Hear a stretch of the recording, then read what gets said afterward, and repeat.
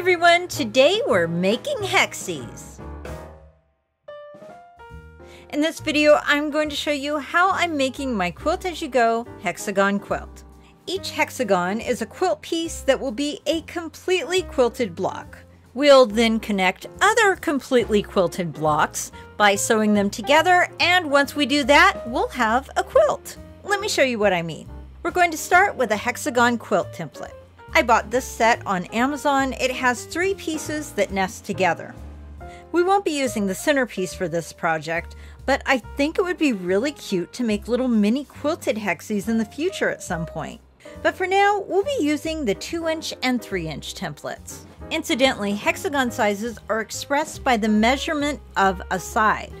So a 2-inch hexagon actually measures 4.5 inches from point to point, but because each side is 2 inches, that's how it's described.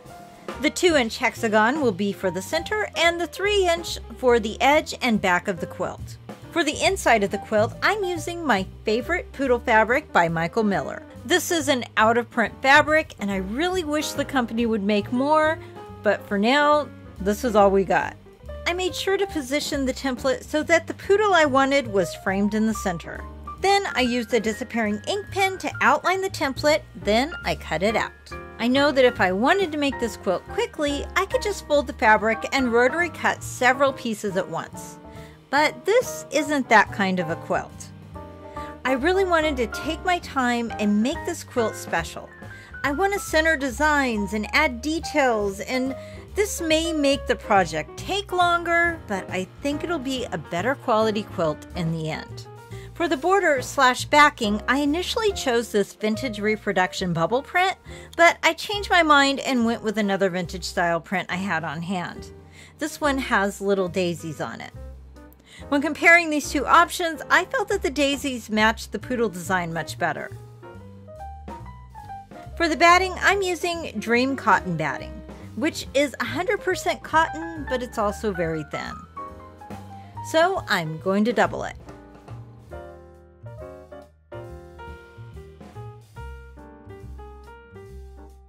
To construct our hexie block, we'll start by stacking our back piece wrong side up. Then we'll center the large template on top. This will make sure that our pieces are centered inside. We'll put in our two pieces of batting and our top piece. Then I removed the template and pinned the layers together. Next, I folded the top edge until it met the inner stack. Then I ironed it in place. Then I folded it over again and ironed it again. Using a needle and thread, I basted the fabric in place. And then I just went around the hexagon repeating this process until all the sides were basted down. Now, I've been sewing for over 20 years. I know that there are many faster ways to make quilt blocks. I could just pin the sides down and run the machine around the hexagon and that would be the finished product. But speed is not what I'm going for here. I want a well-made, well thought out, hand sewn and hand quilted quilt. And that means taking the time to do these extra steps. Some of my other goals for this quilt are that each hexagon quilt piece has to be unique and they have to be made up of fabrics I absolutely love. And of course, I want everything to be 100% cotton. This quilt isn't going to have an overall theme, rather, each hexagon will have its own color palette and theme, but it won't necessarily relate to the whole. So it'll be more like a patchwork quilt in that respect.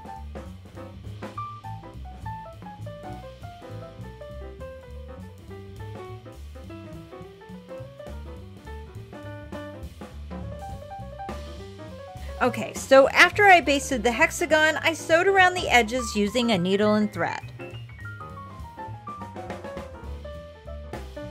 Once that was finished, I removed the basting thread.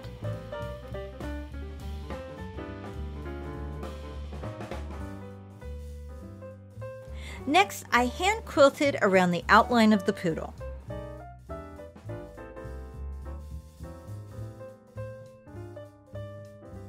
I used the disappearing ink pen to draw a squiggly line around the hexagon. And I hand quilted that too.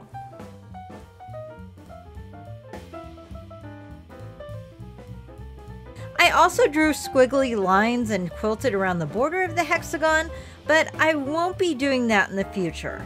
I think it'll be much better to quilt the edges once I'm connecting the hexagon pieces together. And our first hexie is finished.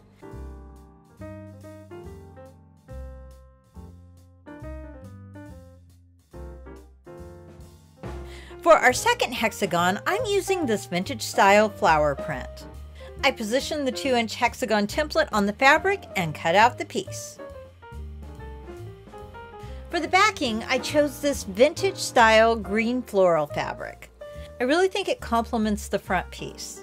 I cut out the cotton batting and stacked and built the hexie just as before by folding, ironing, basting, and hand stitching. Then I quilted along the outlines of the design.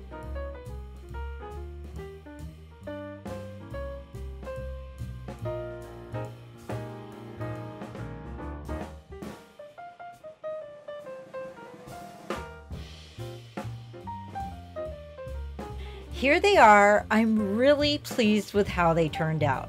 So now it's time to join the two pieces together. I placed both pieces with right sides together and sewed a ladder stitch down the side. But even though I made the stitches really small, I wasn't convinced that this was very sturdy. I thought that when I went ahead and quilted the edges of both pieces together like I planned, it would be more connected, but I still didn't feel like it was very sturdy. So I went ahead and sewed the two pieces together with another simple stitch. So basically I went over this three times. And that's when I finally felt like the pieces were firmly attached. I'm not sure how I'll attach the pieces in the future. I may just continue with all three stitches, but uh, I feel like these are really connected now.